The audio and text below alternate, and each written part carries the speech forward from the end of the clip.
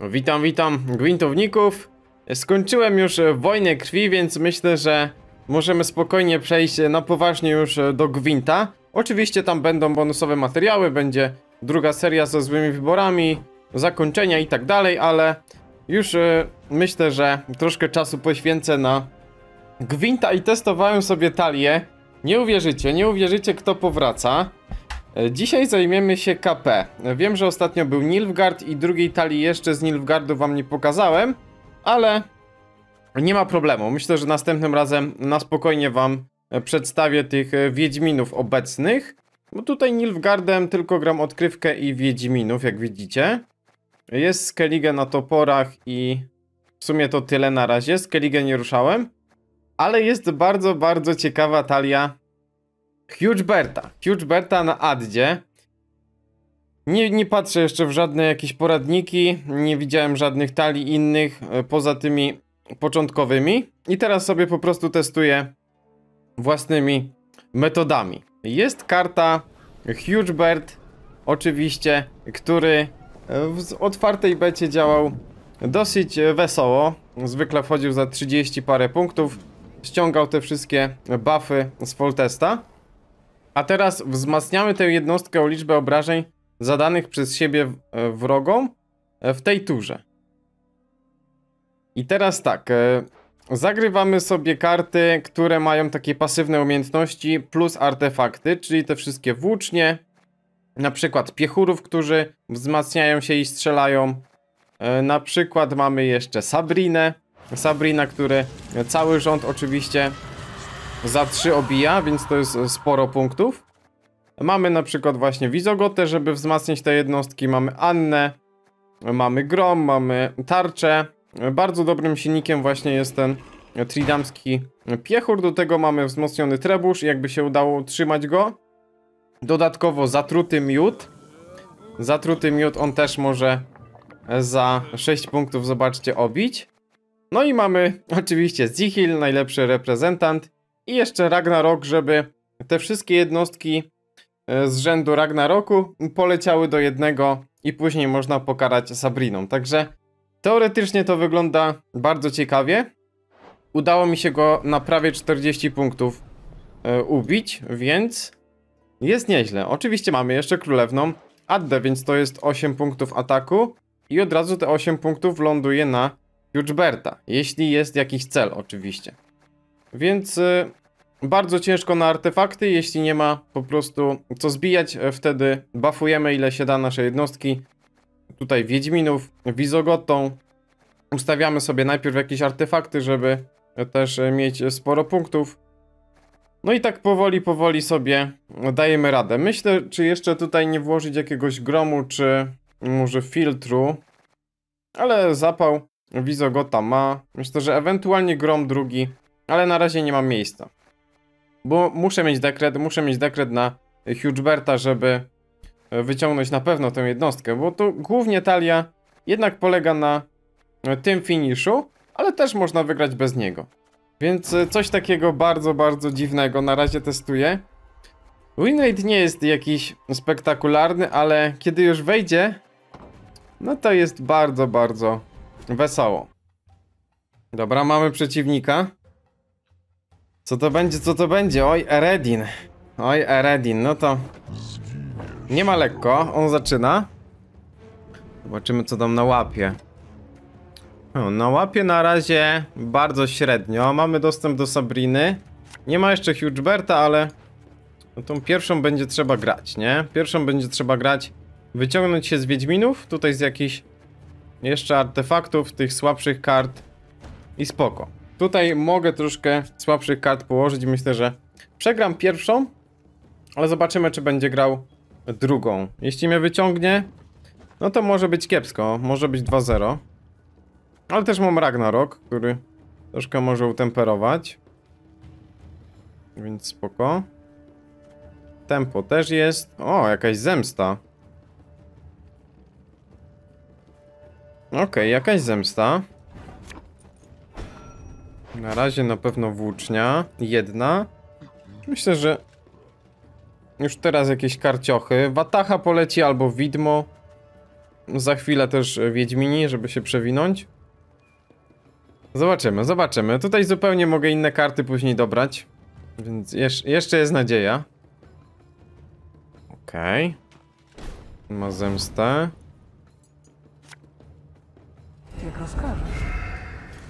Na razie jest w co uderzać, więc... Niech tak będzie. Ale ta zemsta może być niezłą kontrą. No, ta zemsta może być niezłą kontrą.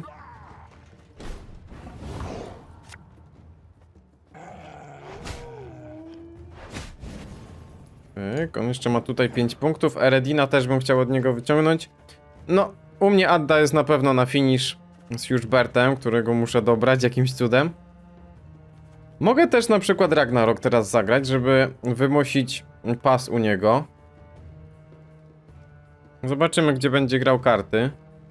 Jak zagra coś mocnego, jakiegoś Gelsa albo coś. O, Oszluzga zagrał. I tutaj on będzie jadł towarzyszy, nie?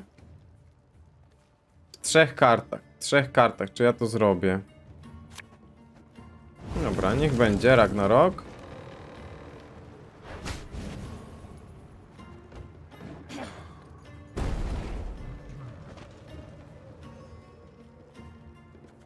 Wiedźmini u, u mnie muszą pójść.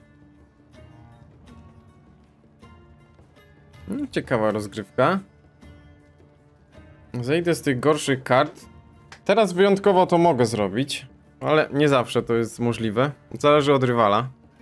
Pióro jest potężniejsze Okej, on tutaj tempo ciśnie. No, oszluzga za bardzo nie wykorzysta. Oszluzga za bardzo nie wykorzysta. Bo ten musi e, pochłaniać w tym rzędzie, ten oszluzg. Więc spoko. Ciśniemy teraz tempo, bo za chwilę się... O! O! O, no to gramy next, sorry. To gramy next. Ragnarok dosyć mocny. Gościu spasował. A teraz mamy Leszego. I on też zaczyna. To mi się... Nawet wolałbym ja zaczynać, ale mamy przynajmniej inną rękę. Dostęp do Hugeberta, do Sabriny. I to już wygląda ciekawiej. Przydałby mi się jeszcze jakiś... Dobra, super. Super to wygląda. Spróbujemy to wygrać, ale... Zobaczymy, czy to będą duże stwory, czy artefakty. Mam talię na artefaktach na Leszym. O Boże, nie chcecie tego widzieć. To jest parodia Gwinta akurat. A takie talie ciekawe chcę wam pokazać, bo... To jest bardzo kombinacyjny deck i niestety jeśli będzie skontrowany to trochę frustruje, ale... O, może jakaś zemsta. Może jakaś zemsta. Ja bym nawet Grom teraz położył i później tri w Tridamskiego i w Wizogotę. Tak przycisnąć ten pierwszy etap. Zobaczymy, czy mi to zbije. Możliwe. Myślę, że w tej sytuacji może mieć tam kontrolę artefaktu. No i po Addzie to się można wszystkiego spodziewać, więc...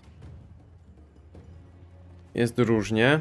Addy za bardzo nie widziałem. Nie mam ochoty na rozmowę. Okej, okay, Wiedźmini. Wiedźmini, no ja też będę Wiedźminów grał, więc spokojnie. U mnie to jest... Tridamski dwa razy. Losowemu wrogowi akurat tej karcie?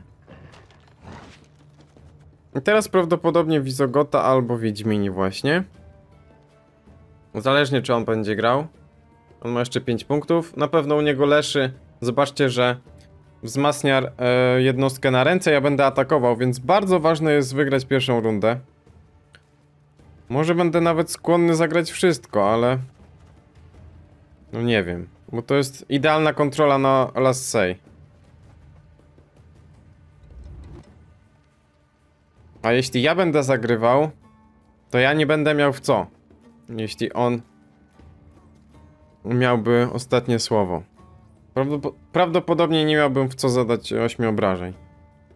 Będzie unikał tego, jeśli widzi takiego lidera, nie? Więc tutaj na addzie jest bardzo ważne mieć ostatnie słowo z tym Hugebertem. Rozstawić te wszystkie artefakty. No kurczę. Nie wiem, czy teraz widzę Gota? Chyba tak.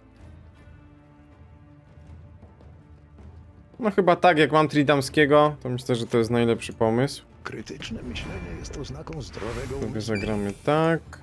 Sobie zagramy tak. Zobaczymy, czy mi to zniszczy. Ewentualnie musiałbym mieć drugiego cyklopa bez zemsty zagrać. No ja mam bufor do czterech kart. Ja chcę grać długą ostatnią, więc mogę nawet wygrać. Jestem krasnoludem interesu. Okej. Tasak. No, kontrolka niestety, kontrolka, jeszcze raz kontrolka.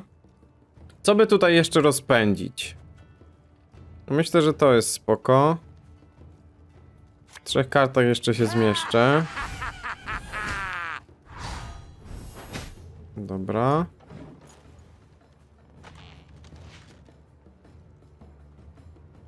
Musicie w tej pierwszej rundzie naprawdę na, na cztery karty zejść. Jeśli chcecie na maksa, to nawet na 3. Na 3-4 można zejść, nie? I później pas. Ewentualnie do końca, tylko musicie być jedną do tyłu i później pasować, jeśli chcecie tak grać w ogóle. A wcześniejsze pasy no dają zwykle brak kontroli kart, ale możecie mieć później Ciri, jak gracie Nilfgaardem jakimś na Wiedźminach. No różnie, różnie z tymi kartami jest. Okej, 30.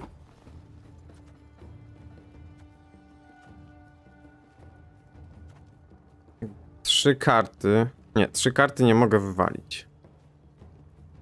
Dwie karty. Moje dwie karty robią 17 punktów? Pewnie, że robią. Będzie szybko i boleśnie. Jakbyśmy zeszli na 3 i 5, to już jest lipa. Gdyby on teraz spasował. Ale on ma jeszcze tutaj 5 punktów. Okej. Okay. 33 w dwóch. Tutaj chciałbym mieć Hugeberta. I on szczerze jest w stanie grać dalej. Ale czy będzie chciał grać dalej? Dobra, powiedzmy, że pas. On jest tą jedną kartę do tyłu. Ma te jeszcze 5 punktów, więc raczej bym go nie przebił. Jakbym zagrał kartę, on by też dograł z tym buffem za 5, więc... No tutaj nie miałem akurat dystansu. Pocisnął bardzo mocno. I teraz ważne, czy on będzie grał? Czy on chce mieć też e, długą rundę? Jeśli tak, to ja jestem w dobrej pozycji. Naprawdę jestem w dobrej pozycji. Na razie zostawimy karty.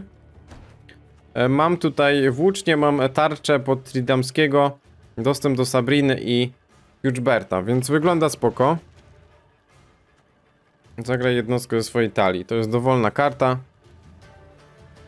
I on jeśli teraz zagra kartę, yy, może stracić ją, ale może też na 2-0 robić. Więc to jest jego, jego wola. Czy on chce 2-0, czy on chce teraz pasować? Okej. Okay. On chce cisnąć bardzo mocno. Więc raczej gramy do końca. Żagnicę ma albo coś? Może tą pianę. Wydaje mi się, że miał tę pianę, ale nie dograł. Oh my god. Ale tutaj za 3 punkty. Piana buffuje za 2. Jestem w stanie to zniszczyć.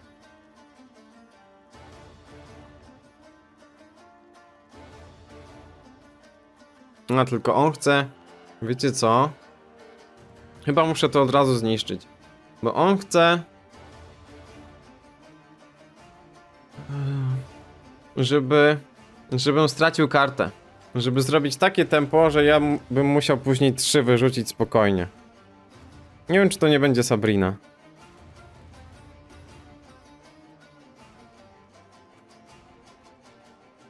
Ale w sumie, czy on jest w stanie to na więcej niż 3 wzmocnić? Kurde, nie wydaje mi się. Zaryzykujemy. Jeśli to będzie piana, no to kładziemy Sabrinę i tyle. Bo kolejnej piany już nie dałbym rady. I my to w jednym ruchu robimy, oczywiście. Okej, Adan Okej. Dobrał? Dobrał. 33. Jest pewny. Myśli, że w dwóch kartach nie zrobię. Mm, Ja z Addą bym to zrobił na 0, ale będziemy na równych kartach, nie? Jestem gotowa. I musimy to zrobić. Musimy to zrobić, bo te wszystkie karty za chwilę będą buffowane. Dobra, i teraz 9 w jednej. Niestety na Hugebercie straciłem te wszystkie punkty.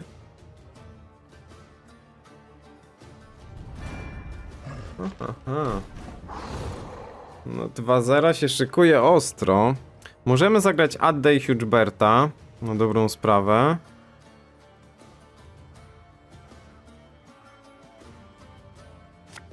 Zrobimy tak.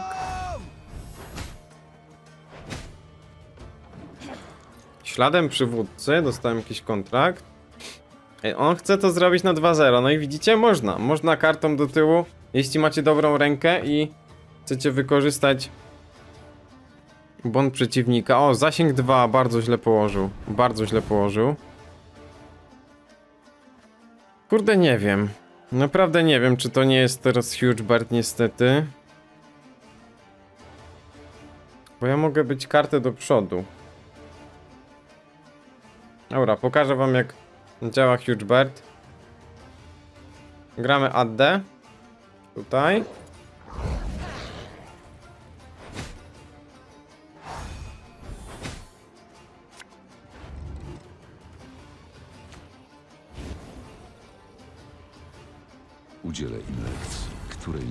Nie A? zapomnę. I Tu miałem już prawie 40 punktów na nim, ale gdyby ta Sabrina wszystkie punkty mu dała, to byłoby 20 więcej. Ale to musicie wszystko w tym jednym ruchu zrobić, nie? Okej.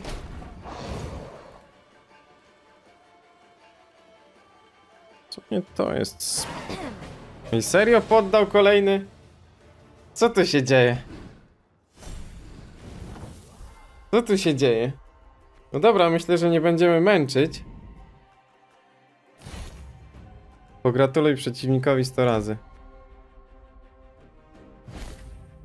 E, Wydaj rozkaz 1000 jednostek. Jak tam punkty? 19 punktów nagród mam. Zobaczcie jeszcze tutaj skina. Adda ma coś takiego. Ale kurczę, gdy wejdzie to całe combo, gdy ktoś, nie wiem, gra do końca się nie spodziewa, to naprawdę tu są kosmosy. Pokazywałem na e, grupie na przebierówkach. Tam było jakieś czty- 30 parę punktów, 31 chyba. Ale no, do 40 można go spo- spokojnie nabić. Te wszystkie artefakty, Zihil na przykład za parę punktów. Mm, Tutaj obijanie może trebuszem albo tridamski, mamy włócznie. Kurde, jeszcze wam chcę pokazać jakiś rekord, ale niech będzie, niech będzie tyle. Na razie poddawali dosyć szybko. No bo tutaj kartę do tyłu byłby. I to w sumie już mógłby nie mieć szans, ale mógłby to wyciągnąć w sumie. Więc e, tyle. Na razie z KP. Myślę, że e, kolejną talię na ładunkach wam pokażę mm, w kolejnym odcinku. Dzięki za oglądanie. Piszcie jak wam się podoba. Czy widzieliście w ogóle coś takiego? No i do zobaczenia następnym razem. Hej hej.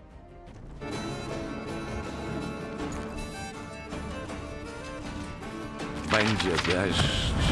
A może mróz?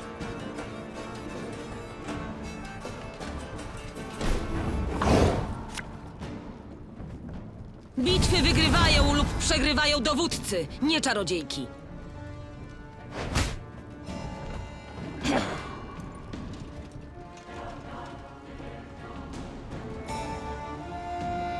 Cesarstwo ci to wynagrodzi. Lepiej od razu się poddaj!